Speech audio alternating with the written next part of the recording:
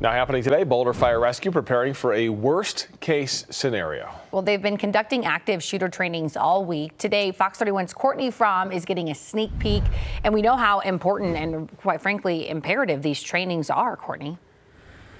Yeah, good morning, Kirk, Kirk and Ash. That's exactly right. And unfortunately, it's planning for worst case scenario. It's something we never want to say is going to happen, but they have to train for it. And they, we were just talking to them a few minutes ago, and they say getting these reps in is so important when it comes to being a first responder in this type of situation. I'm going to pan over right now. You can kind of see they're actually um, doing some of this live training right in the parking lot. You can see they've got the ballistic gear, all this stuff happening at Calvary Bible Church. So we talked to them for a while. They said the training actually starts outside here. You can see that's police right here, Boulder Police.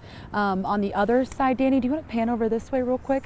You can also see that the fire department is also here and EMS. So this training will eventually move inside to the church, and that's where they'll work with um, dummies and then also live actors who are pretending to play the role of being injured. And again, we remind you the pictures and videos you are looking at, you can see them running over here, Danny, but pictures and videos that you are watching, this is all just a training. Keep that in mind. But like they said, it's an important training to have happen. We're watching it go right now, and you can hear why it's so important to do so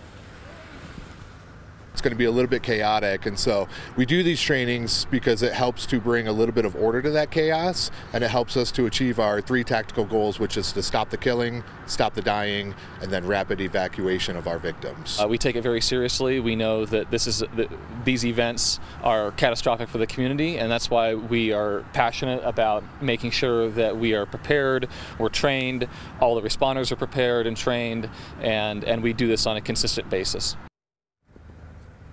Again, we want to remind everybody this is just a training happening this morning, but you can see they're running in. A few other police officers just ran into that church in this uh, training scenario. You can see the signs all around here, but they're going to enter the church.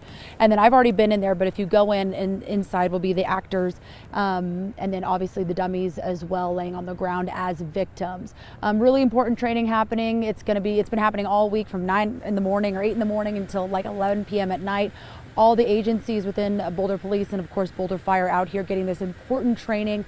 Um, but if you're in the area, just keep in mind they're just working out um, on this right now. So anyways, live in Boulder, Courtney Fromm Fox 31. Courtney, thank you.